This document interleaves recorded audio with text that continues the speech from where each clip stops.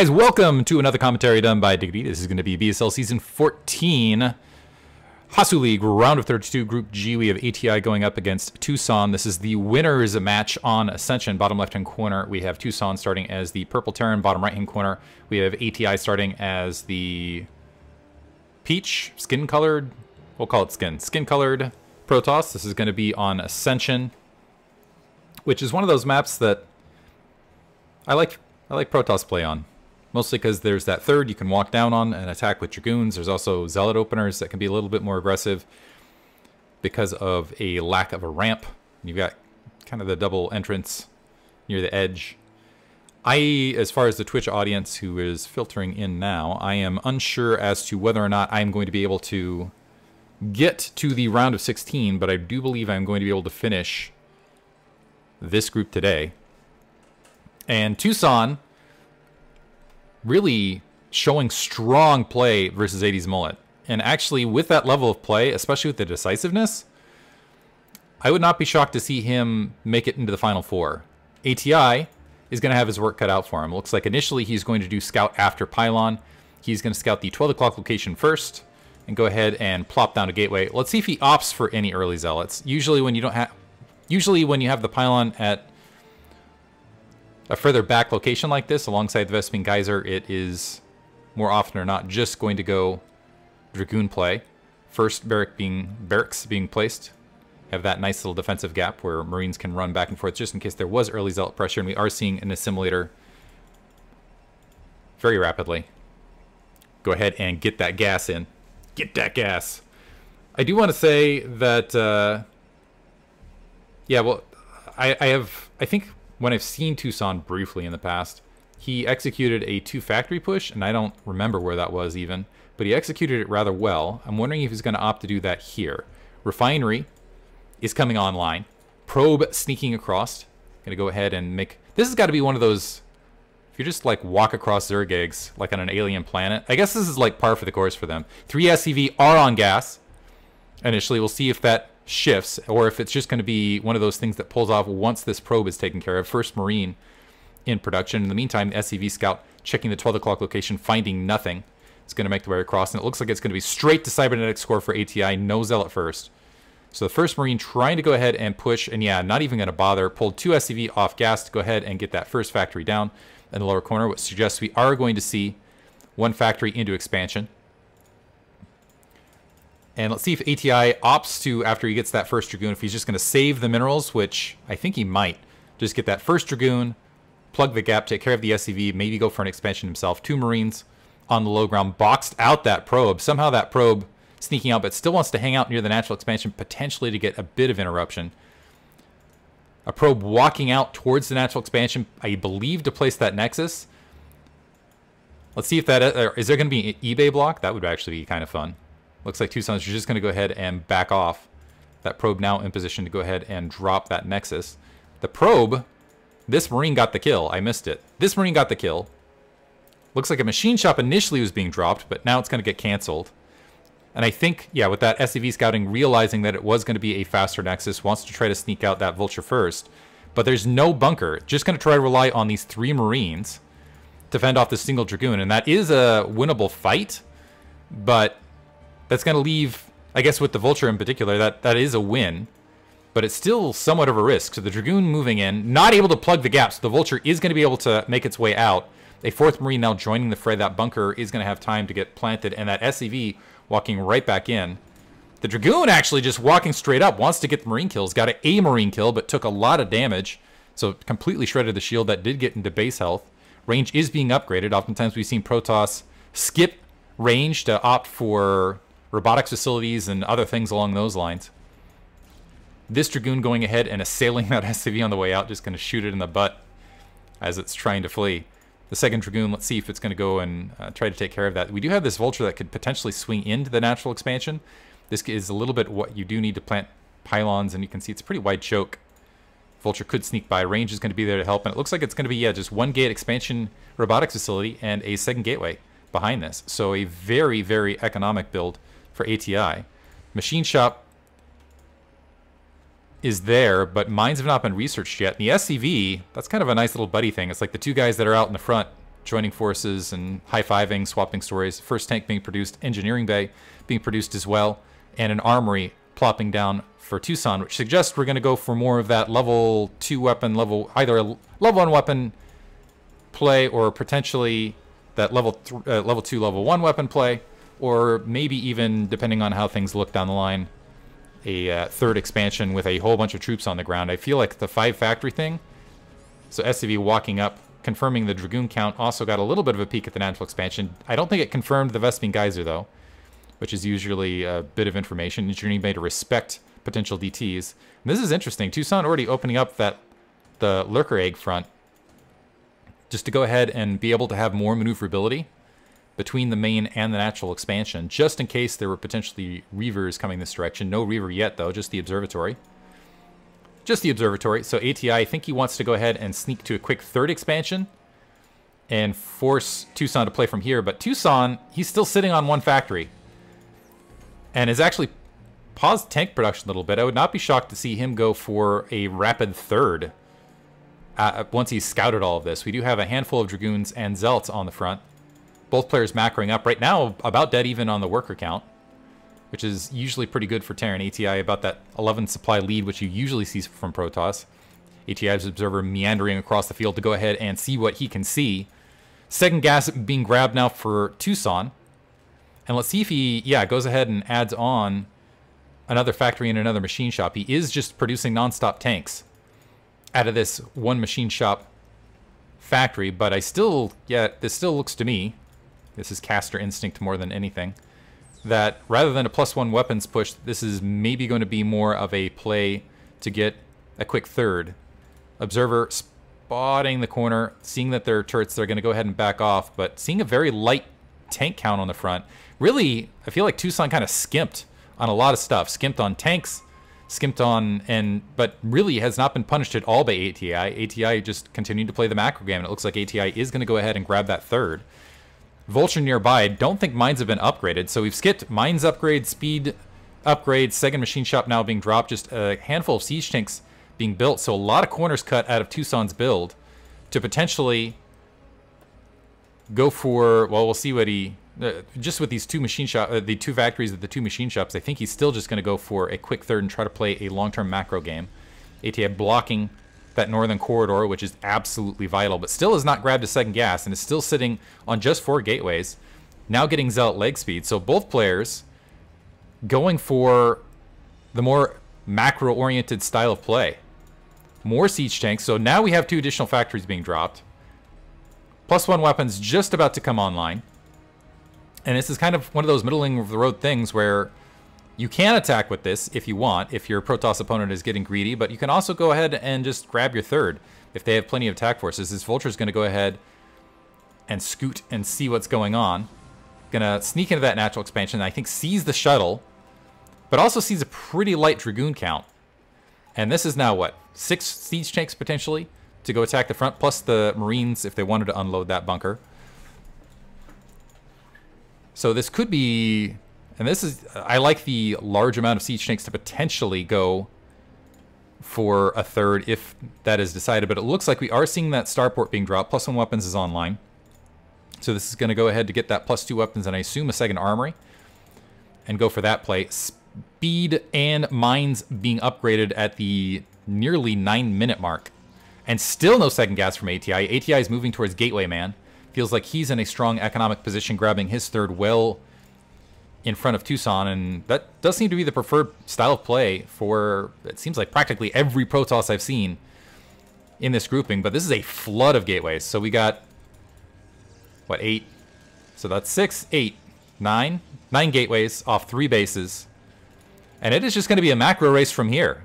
And there potentially is just going to be one gigantic clash to see who decides it and who advances and who gets knocked out from here. Vulture is now being added on. So this could be in a science facility. So the science facility there now to start plus two weapons, but no second. Okay, there's the second armory behind it. But this is a still a, a lot of troops that could potentially be a threat or could potentially just go out and seal and cap that third and make the way towards 200-200. And that could just be what we're going to see is both players just going for a flat macro race to hit 200 200 and play from there. ATI wandering out with a probe potentially to go ahead and grab a fourth. Vultures are streaming across the map. It doesn't look like they're going to be in position to see this probe. But the siege tanks, yeah, just walking down, wandering around the third base. And I believe this is, yeah, just going to be an on-spot Nexus. And ATI just letting it happen. Not even concerned about it. The Observer sees it. He's just going to go ahead and grab his fourth base. Some Dragoons are moving forward with this Zealot force. There are mines on the high ground. The Observer needs to sweep down to help clear this. It looks like, ooh, some big mine hits, softening up the Zealots, at the very least. Also, upgrades on the other side. Click a unit. I don't even know that we have a forge yet. So this is going to be gateway. Okay, so we have double forge, but upgrades are not yet spinning. So the upgrade advantage is going to be on Tucson's favor. Some Zealot bombs trying to clear out some mines, and it looks like some Vultures on the front managed to take out a Vulture with that. But yeah, ATI a little bit late, to be honest, to go ahead and provide any sort of pressure on this third, and still no fourth. So the probe that was to the north for whatever reason, meandering to the 9 o'clock position, perhaps not feeling safe with the large troop count underneath, knowing that Tucson potentially could push and attack with that plus one weapons, and hold the third simultaneously. So he's going to go ahead and just try to have a staggered position here.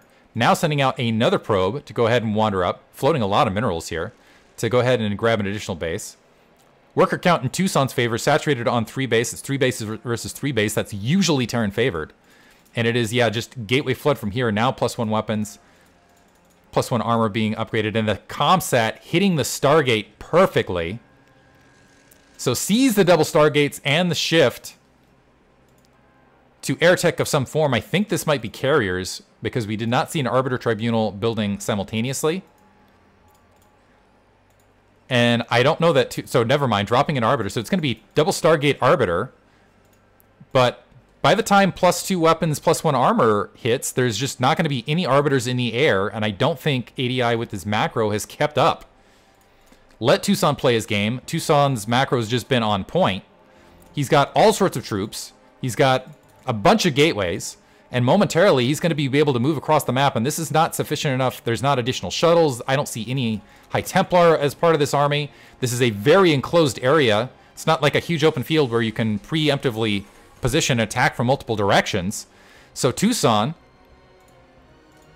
potentially could run ATI over. He's also got an SCV hanging out, maybe to grab a fourth. I would be shocked, actually, if he grabbed his uh, a fourth instead of just attacking into this and just bullying his way forward. We'll see momentarily. Plus two weapons about 30 seconds off. More Dragoons, more Zealots making their way forward. Now it's imperative that ATI actually holds this high ground as long as possible. Mines being dropped, so yeah, Tucson grouping up to go ahead and make that push. We do have two additional Nexus being taken in the upper right and upper left-hand corner. And now ATI dropping on top of this. The Zealots getting boxed out. Looks like this is a pretty decent attack. Some Zealot bombs behind this, but the Vulture's wiping out those dropped Zealots. The shuttle's been taken out. More Dragoons peeling forward, but this is still a huge amount of siege tanks. This is high ground to low ground, though. And that high ground to low ground is kind of disguising how sizable this army is.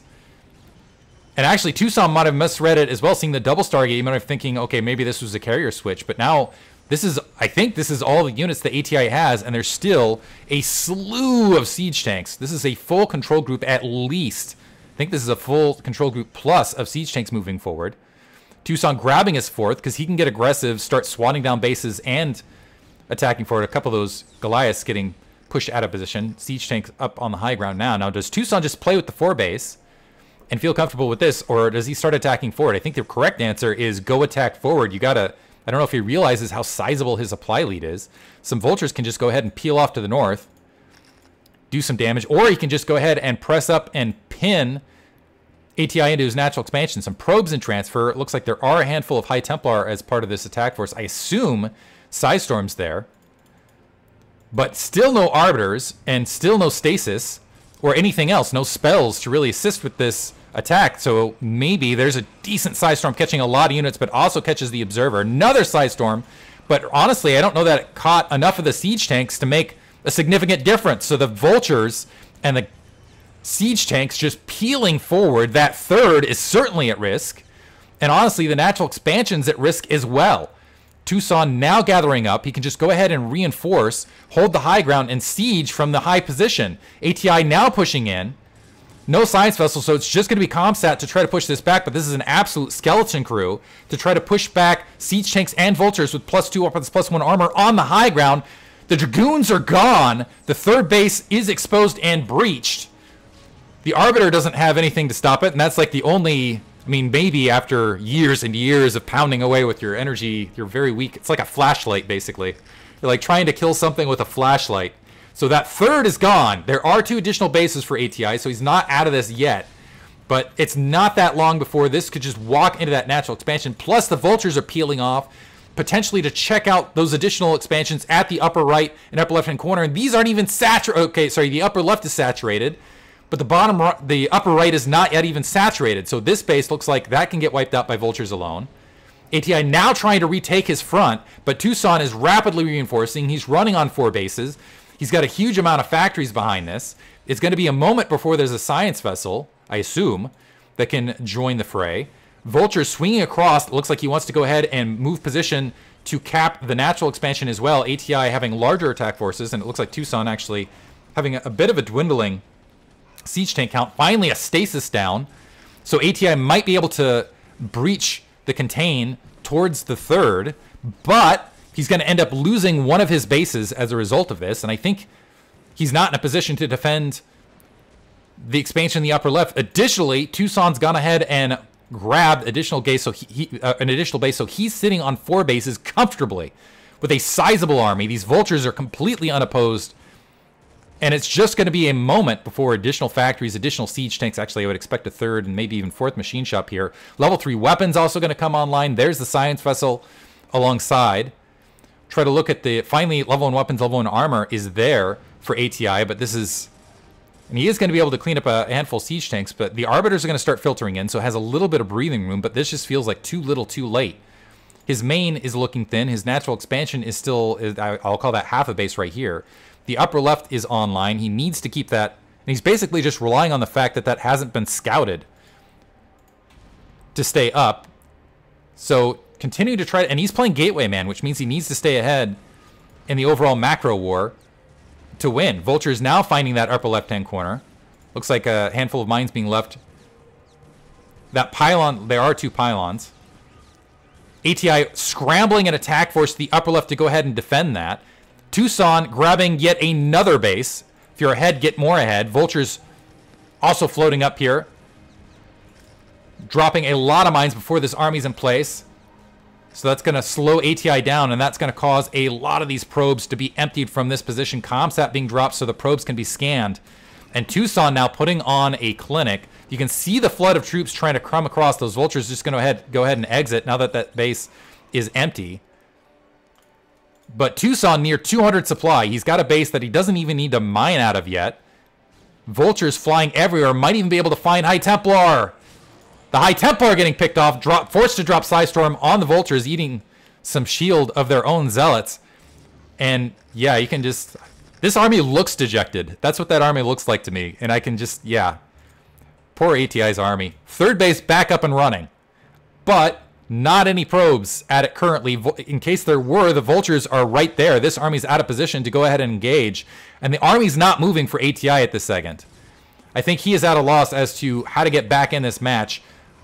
Mines being planted, wiping a lot of troops. And again, more High Templar are being picked off before they're even able to drop Storm. ATI finally moving this army midfield. It looks like he's going to go for one counterattack He's like, maybe if I can go for attack at the main, I can equalize things.